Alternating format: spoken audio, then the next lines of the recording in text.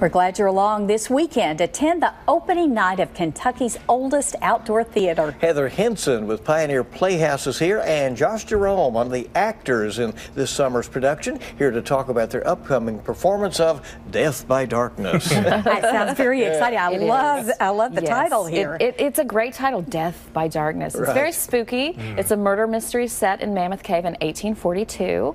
And uh, Charles Dickens is actually a character in the play as well. So um, I don't want to give any spoilers, but things happen in the cave that uh, you'll find out what happens. But it's a spooky story. Written by a Kentucky playwright. Yes, Yeah. Elizabeth Orndorff is one of our favorite playwrights. She lives. She happens to live in Danville, but we love her. We would love her anyway. Um, she's written several Kentucky Voices plays for us, original. Um, this is the second time we've done Death by Darkness. We're doing it because we're celebrating Kentucky Voices. 10th anniversary. Um, and uh, Elizabeth Orndorff Orndorff is a great playwright. This is a terrific show that uh, Josh is starring in, so we're excited. Josh, tell us about that starring role. Right, right. And so Stephen Bishop, it's interesting, right?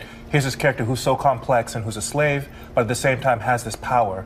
And so what we're exploring in the play uh, are these power dynamics. And so even if you are disenfranchised, how then can you use that voice of yours to, to lead people out of the darkness? Um, yeah, it's pretty exciting. exactly. Have you enjoyed uh, becoming his voice Absolutely, on stage? absolutely. I just want to honor the history and the legacy of Stephen Bishop, but at the same time have some fun with it because Yeah. uh, it is a piece of fiction that is that is based on in, in reality, and so just trying to really uh, explore all that depth. And, and so it's fun. We have some serious topics, but the, you know, there's some laughter there too, and then some some darkness. Yes. And uh, it's a great murder mystery. It's one of the ones that people asked for again and again. And, and we had the information how people can get tickets. Yes. The reminder it can be dinner and production. Dinner in the or show, a the show. wonderful barbecue dinner, hand rubbed, uh, home smoked barbecue. Um, so yeah, pioneerplayhouse.com, dinner and show or show only. Sounds good. All right, thank, Thank you. All right, Thank we'll see you you. there.